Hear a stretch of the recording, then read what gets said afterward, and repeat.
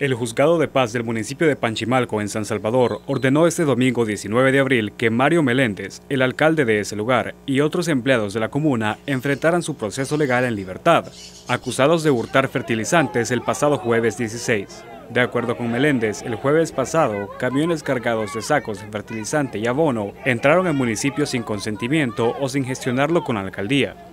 Estos sacos, según la versión dada por la municipalidad, fueron trasladados a una bodega a nombre del partido Nuevas Ideas, ubicada en Panchimalco.